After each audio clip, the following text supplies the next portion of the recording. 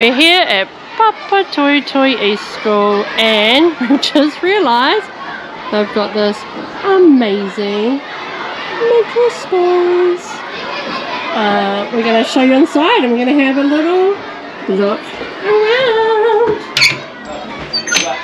A maker loves to knowledge share and knowledge build, exploring a range of materials and technologies, some new, some old.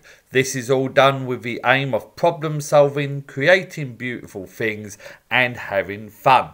And a maker loves community, so they hang out in a makerspace. This makerspace is super organized with lots of resources and containers that are easily accessible and visual so you can see what you've got to make with.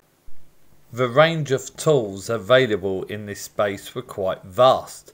Beautiful things like the classic scissors and pens still have a place in a maker space.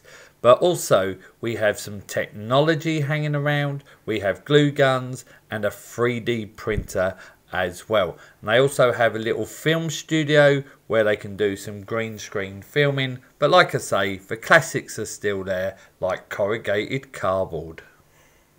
We also had a live demonstration of Quiver. Right, here we go. Yeah. So Quiver, you scan your coloured picture in, right? Yeah, and hopefully... Just like that.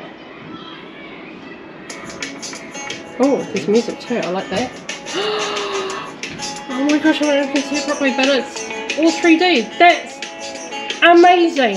For inspiration, the teacher starts off each session with a storybook. This is the one they're looking at at the moment, and that helps the kids figure out what they want to make based around the theme of the sophisticated picture book. Here are a few things we found hanging around at the Makerspace.